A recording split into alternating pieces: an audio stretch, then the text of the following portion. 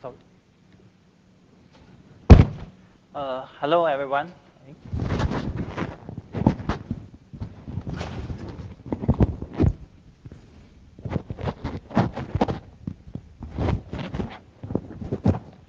Hello. Uh, okay. Hello, everyone. Thanks for coming. Uh, today, I'm going to talk about uh, the relational proofs for quantum programs. Uh, this is a joint work with uh, Gilles Barthe, uh, Justin Hsu, Mingsheng Ying, and uh, Nengkun Yu. Uh, relational verification is a useful technique to understand the program behaviors. Uh, for example, uh, consider two executions of the same program with related inputs uh, we may use it to reason about uh, the non-interference in information flow system and the robustness of a single program.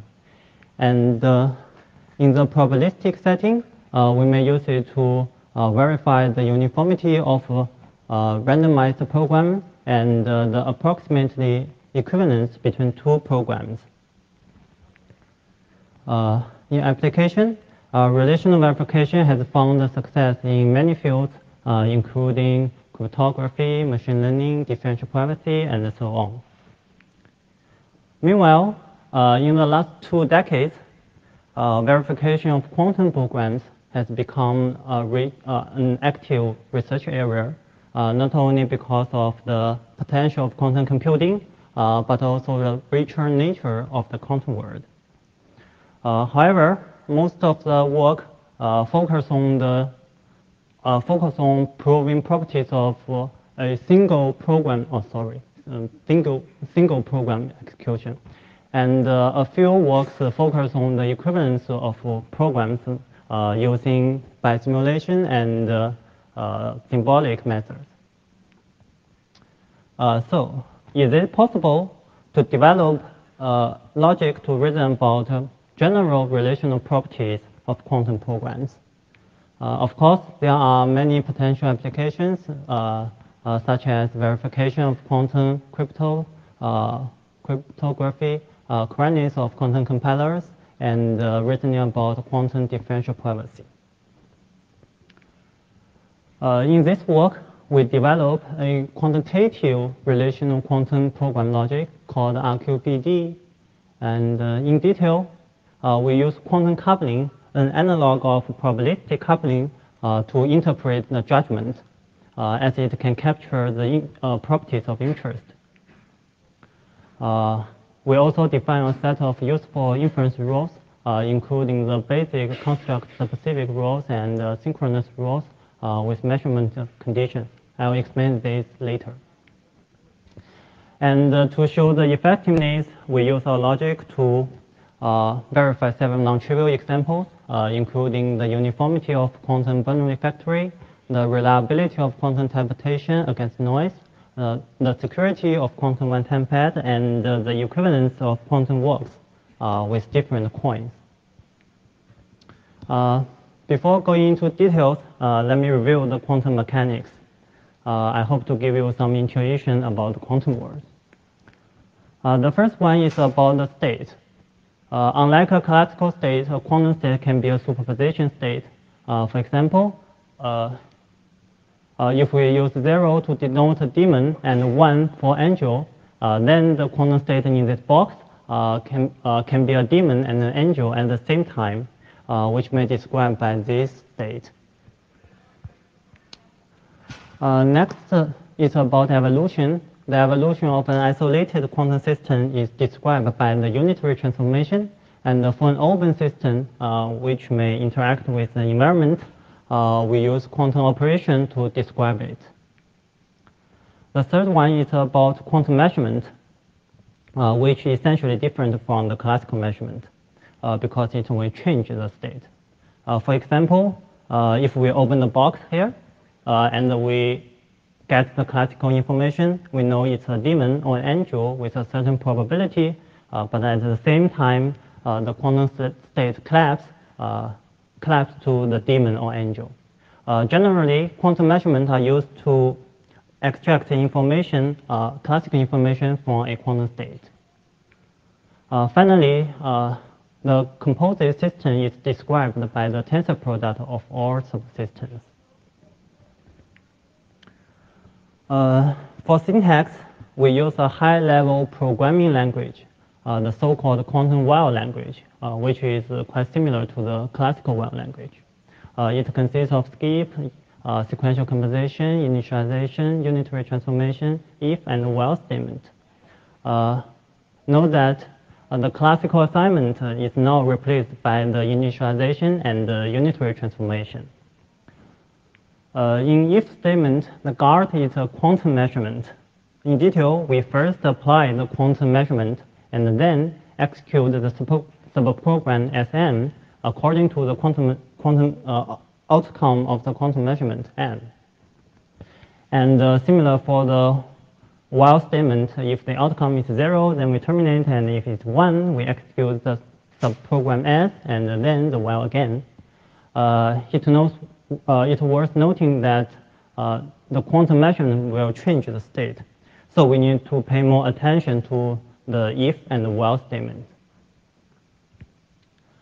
Uh, for any quantum while program S, uh, its semantic function is the mapping from quantum state to quantum state. Uh, intuitively speaking, uh, given quantum state, uh, given input quantum state rho, the S rho stands for the output state after executing the program S.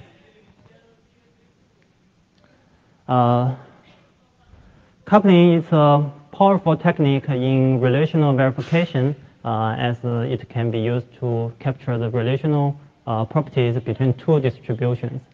mathematically, a, a coupling is uh, a coupling mu uh, is uh, is a coupling.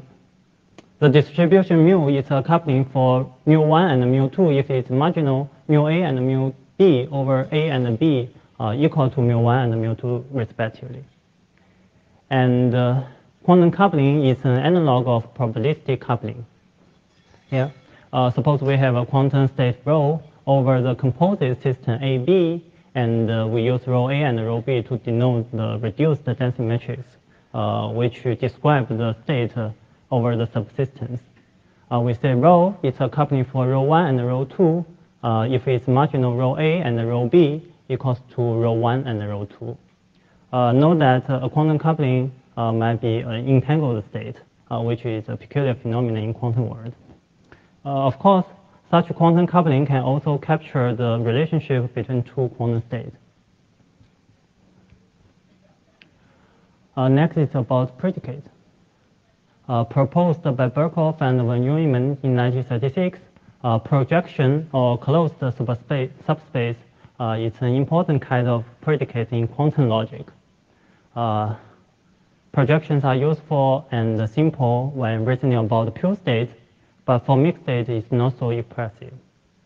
Uh, so there's another choice of predicate, the quantum effect or observable, which was proposed by D'Hondt and uh, Panangaden in 2006. Uh, for an effect A, okay, there, is a, uh, there exists a corresponding measurement MA, and for some quantum state rho, if we perform MA, then the expected classical information uh, we can obtain is uh, trace A rho. Therefore, we may regard the expectation trace A rho as the truth value of rho with respect to the effect A. Uh, that is, uh, the expectation trace A rho characterizes how the quantum state rho satisfies the effect A. Uh, unlike the Boolean logic here, uh, we need to regard it as a many-valued logic. Uh, the advantage of effect is that it can be used to quantitatively reason about a quantum program, not only for pure state, but also well for mixed state. Uh, the judgment in our logic is formed like this uh, with a set condition gamma in the left and the two programs S1, S2 we want to compare in the middle, and the precondition A and the postcondition B. The validity is defined in such way. Uh, first, we have a we have the left program as 1 with input rho 1 and output as 1 rho 1. And then the right program as 2 with input rho 2 and output as 2 rho 2. Uh, now we related them together by finding the uh, quantum coupling rho uh, for two input states, rho 1, rho 2, and the quantum coupling sigma uh, for two output states. And the given precondition A and the postcondition B. Uh, recall that in many valued logic, the implication is like this. Uh, if a proposition P implies proposition Q, uh, if and uh, if the truth value of P is less equal than truth value of P of Q. Uh, similarly, uh, we need to ensure that the truth value of P with respect to the A, which is characterized by trace A rho, should smaller or equal than the truth value of, of sigma with respect to B. also, we need a universal quantifier before rho and sigma. Okay, once the interpretation is fixed, the next challenge is to define a set of useful proof rules. Uh, the first consideration is to regard, uh, to relate two programs in a tensor product manner. Uh, okay, sorry. Uh, see this figure. we have a coupling rho with marginal rho 1 and rho 2, and if we apply the tensor program as 1 tensor S2 directly on rho, and then we get the output as 1 times as 2 rho. It can be proved that this state is a coupling for S1 rho 1 and S2 rho 2. So uh, it's possible to establish rules uh, directly according to the quantum logic, uh, which was first proposed by Mingsheng Ying in 2011. Uh, for a formula uh, uh, of the tensor product program as one tensor S2 with precondition A and uh, post condition B, uh, if it's valid in QHL, then this judgment is also valid in our logic. Uh, there are a set of sound and complete rules in uh, for quantum Hoare logic, and uh, we can extend them directly as our basic construct specific rules here.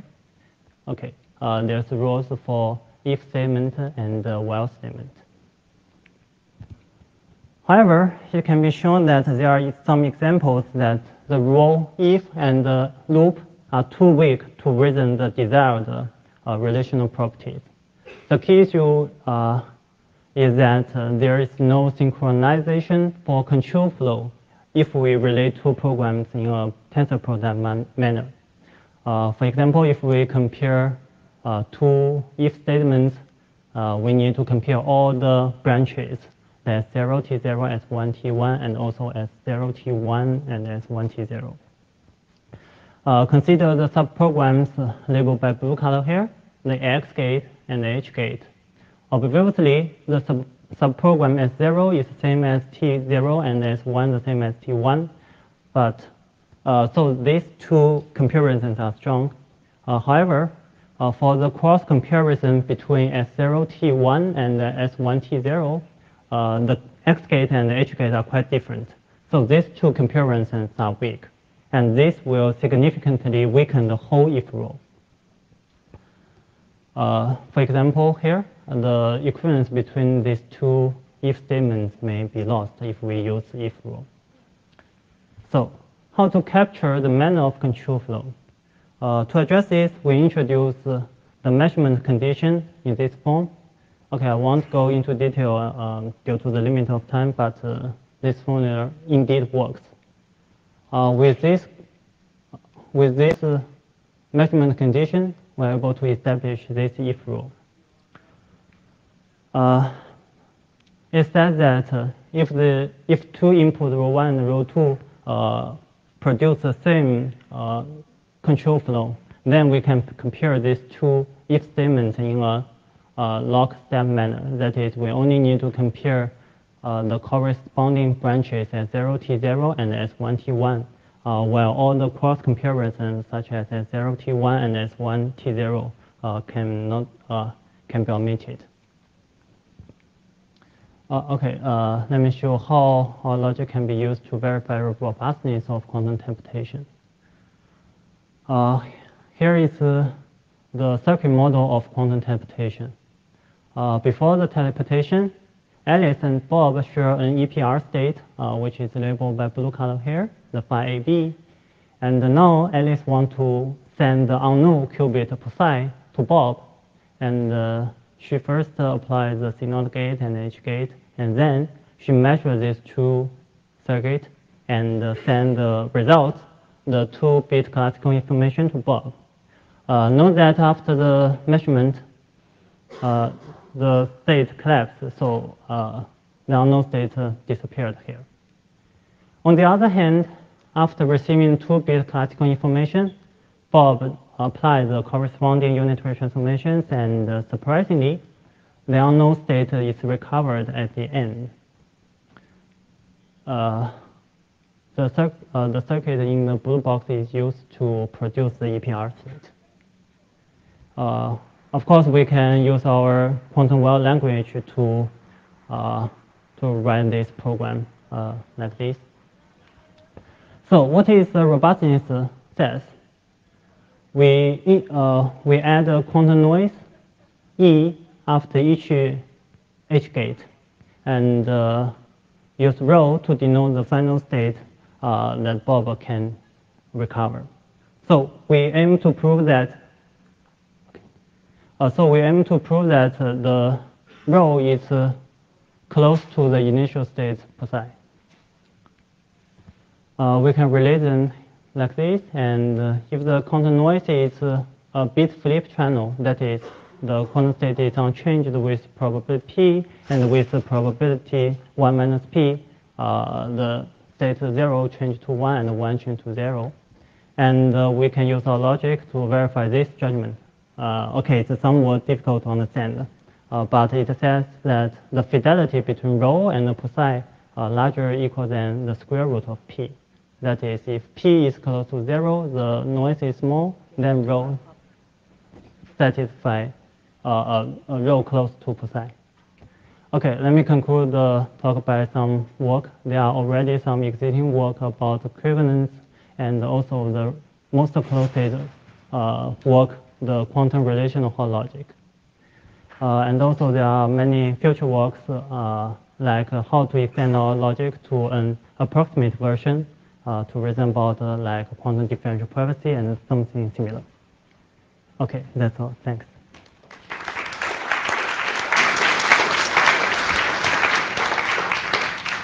Okay, uh, thanks. Uh, we'll take a couple of questions.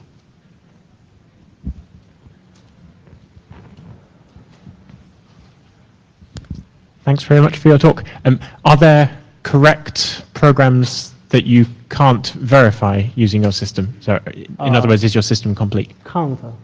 Okay. Uh, uh, of course. Uh,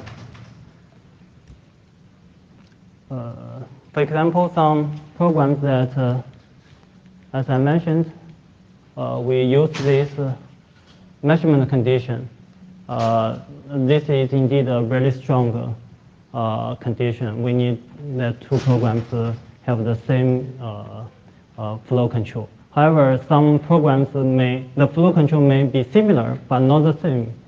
Uh, and, it's, and if the raw if is still too weak, then such programs we obviously cannot verify. Okay, one more question.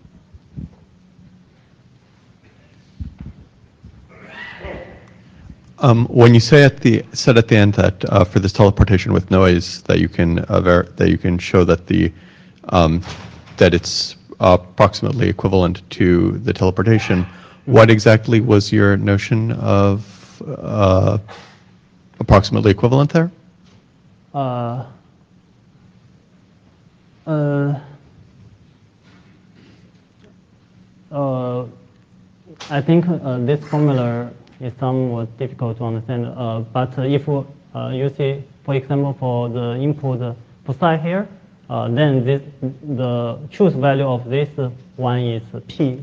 And for the output, the first program is also psi, but the second is rho. So this one is reduced to trace uh, precise rho. So uh, this formula tells us the trace psi rho is larger or equal than p. Uh, uh, we can write it in a, in a, in another form like this one, the fidelity. Uh, if we know the defini definition of fidelity, uh, it's equal to the square of uh, square root of trace precise rho. Thank you.